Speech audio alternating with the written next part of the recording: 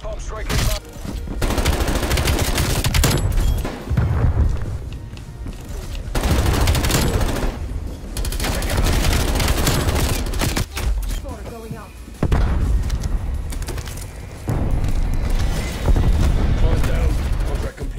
How's it going, everyone? I increased the settings again, so if it lags out, I'm sorry. Ooh, Rush. Okay, that's when I was like gone from my PC for a long time. Rush was one of the maps I really wanted to play when they first announced it, but they had to release it like the day after I first left. So I don't know. It's my it's gonna be my first time trying it, I guess. Oh, wait, wasn't this like a Okay, I know this is a Black Ops 4, but was, is it, wasn't this like a Black Ops 2 map originally? I swear I've played this once before on like Plutonium. We're here on Black Ops Cold War today. I mean, it's been getting a lot more, you know, positive attention recently. Obviously, like, every...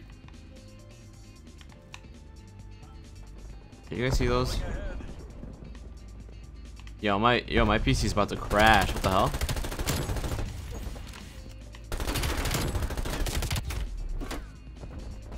Okay, the VRM is just really. I'm gonna turn. I'm gonna turn off anti-aliasing real, real quick.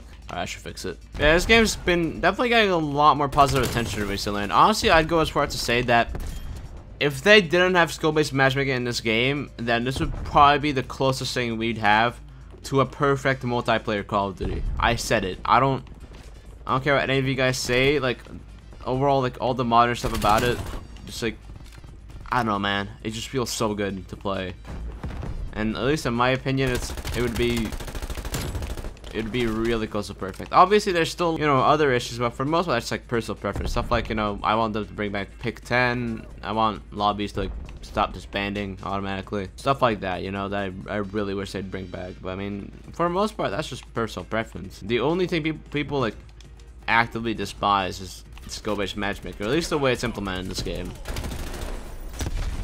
That was the main thing people were complaining about back when this game was big, and that's still the main thing people are complaining about. But, I mean, free. The DLC is free. When they get new maps, you get those for free. You don't have to like pay extra DLC money for that. You have to do that on Black Ops 2, Black Ops 3, Black Ops 4, every other Call of Duty game before. Well, Modern Warfare, but Modern Warfare has its like own like insane amount of issues. Modern Warfare feels good though. I will give it that, and it looks like really nice. Just insanely campy and just poorly designed, and the maps are dog shit. Wow, this is very one-sided. But I really don't have any major gripes about this game.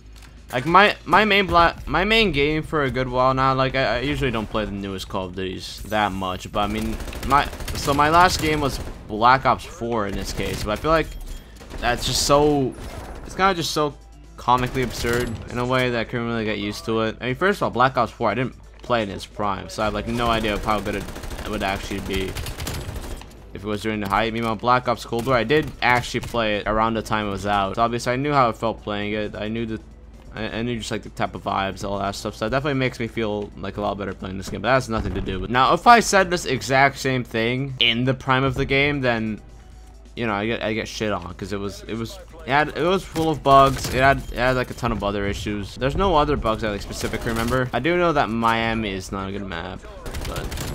Everyone knows that. Every Call of Duty has to have one garbage map. There's no Call of Duty with perfect maps all around. It always has one stinker. Now, you may have noticed that I did always emphasize multiplayer Call of Duty. And I also didn't say League play. Le League play, Black Ops 2 is still greatest League play. But this is certainly, certainly not the best for campaign. I haven't played the campaign yet, but all I've really heard is that's just okay. Like, there's nothing awful like Black Ops 3, but it's, it's pretty alright. The campaign GOAT will forever be Black Ops 1, at least in my opinion. And World at War is like a close second.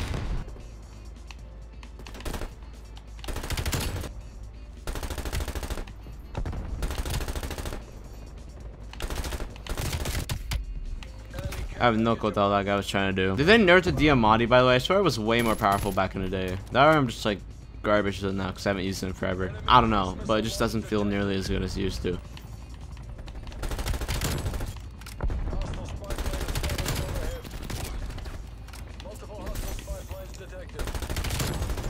I don't know I'm sweating on these kids. I have, I have a, I'm actually popping off right now. I could just shut if I wanted, but nah. I gotta go all out for these kids. Okay, somehow they got a kill streak. Huh? Excuse me? Okay, I don't think I'm, I don't think I'm like particularly better than anyone on their team. It's just that like my team is horrible. Skill-based matchmaking is still ass, but everyone knows that. It's not good. I really hope that for Modern Warfare 2 they just like bring bring back how it used to be. Because, I mean, every Call of Duty has had skill-based matchmaking, but it wasn't nearly as insane mental, you know, like play two games and you're suddenly CDL god number one amazing, you know? But yeah, my graphics card can't take this any longer. Thanks.